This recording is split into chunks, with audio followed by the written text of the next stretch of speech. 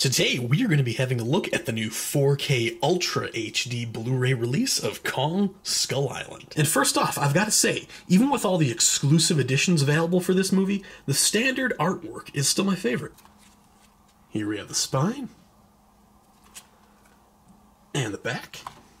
As for bonus features, we have Creating a King, a two part exploration of the rebirth and recreation of an iconic monster. The Monarch Files 2.0 dive deep into the organization and Monsterverse mythology. Tom Hiddleston, the intrepid traveler, join the actor on a tour of the film's breathtaking locations, deleted scenes, director's commentary, and more. Down at the bottom here, it states that the 4K presentation is for the film only, is rated PG 13 for intense sequences of sci fi violence and action, and for brief, strong language, and it is 118 minutes long. If you do follow my channel, you'll know this is the first 4K release I've actually unboxed, and as you can see on here, it features HDR high dynamic range for brighter, deeper, and more lifelike colors.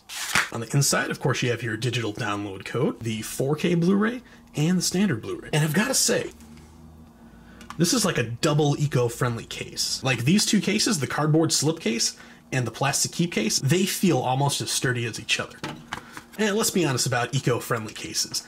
They have nothing to do with being environmentally friendly. This is all about just saving money and using less plastic. The cheapest, weakest part of the case is the part that protects the Blu-ray. But besides the poor packing for this edition, it does seem to be a really good release. If you have not seen Skull Island yet and aren't exactly a Kong fan, I would say check it out anyways, because I'm not the biggest King Kong fan myself, but I enjoyed the hell out of this movie. This was a pure kaiju smash up movie. And instead of taking the usual Kong story of kind of beauty killed the beast that's been told with almost every Kong movie, this one was an in your face allegory for war, which was a nice change of pace for a King Kong story. So if you're looking for something a little different that is a lot of fun, definitely check out Kong Skull Island. I hope you've enjoyed this quick unboxing. Remember to like and subscribe if you haven't already.